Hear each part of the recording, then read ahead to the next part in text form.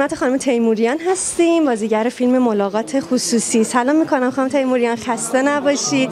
خانم تیموریان من یه سوال داشتم. این نقشی که توی ملاقات خصوصی داشتید به نظرتون یکم شباهت به نقشی که توی شادروان داشتید نبود؟ آفرین چه سوال خوبی.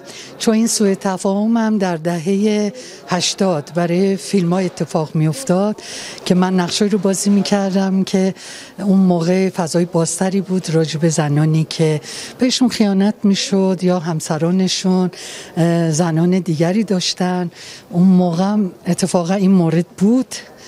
بعد از سالها من صحبت کردم با یکی از منتقدین در تلویزیون و ایشون قبول کرد. گفتم من ممکنه که یه شخصیت رو از یک جایگاه مشخصی بازی کرده باشم اما بازی ها متفاوتن.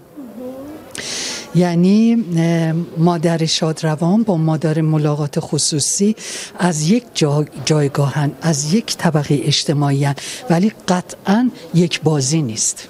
درسته بازی که یک بازی نیست. حالا این تفاوت هایی که توی بازی نشون می‌دید یعنی توی نقش هایی که از یک جایگاه هستند رو می‌خواید به مخاطب نشون بدید این چالش رو چجوری عملی می‌کنید؟ خب این چالش رو هم با سناریو همکاری کارگردان و مراقبت از این که نقش شبیه هم دیگه نشه طبیعی که در ملاقات خصوصی نقش مادر بسیار رنجورتره.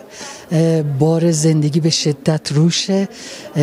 یه جور جورایی دیگه این رنج و دردی که داره درش تهنشین شده.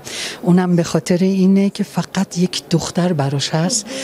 به پسر خیلی خیلی توجه داره چون فکر می‌کنه که خیلی مظلوم واقع شده و در حقش بیانصافی شده و به همین دلیل او رو خیلی سعی می‌کنه حمایت بکنه.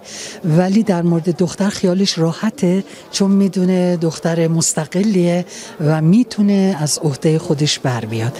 ولی در شاد روان به دلیل اینکه هم پر جمعیت هم اتفاق فرق می‌کنه و اینکه تعداد بچه های زیاد هستن و بیشتر درگیر مسائل روزانه و ارتزاق زندگیه تا ارتباط مستقیم با بچهاش خیلی ممنونم از شما. متشکرم. ازتون